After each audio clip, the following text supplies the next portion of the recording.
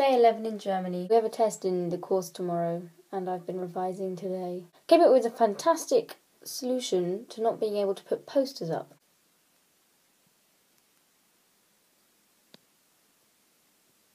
Pretty pleased with that design. Wool has more than one use.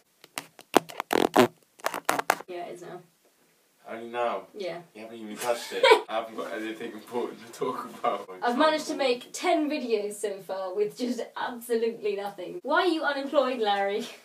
How do you find unemployment? really. I do the bills for my uncle and my dad because my uncle is so sloppy, so I always have to chase after. And then I get confused because everybody, everything's missing because they forgot to bring it in, and then Tony gets confused. I also need to get a book, a grammar book for German, which would be really helpful because I'm finding the grammar so hard. It's absolutely mind blowing. It's really actually frustrating me so much. How ridiculous the grammar is in German, and like it turns out Germans are really picky about having correct grammar as well. Are they? Apparently, well, Tony thinks they are. Maybe he just says that to scare me. Right. Because I can have a conversation with somebody, but it's just like a really derpy one. I had such a good birthday. I really didn't think I would. I'm so hyped about how good my birthday was. Still.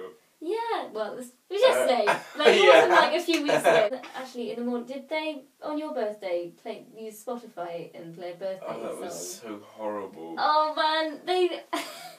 um, it was playing the wrong name. It was playing like Annika. Happy birthday to Annika. they they played me the same song, song, but not with Larry, but with Jackson.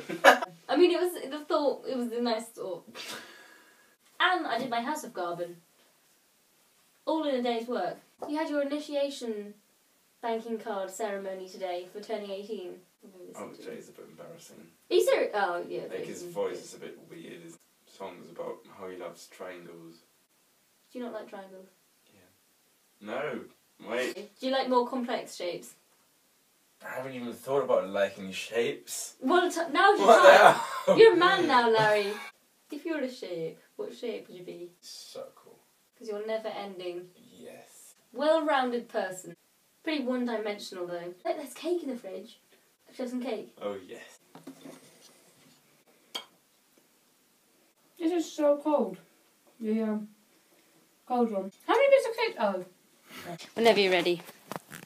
That was day 11! eleven.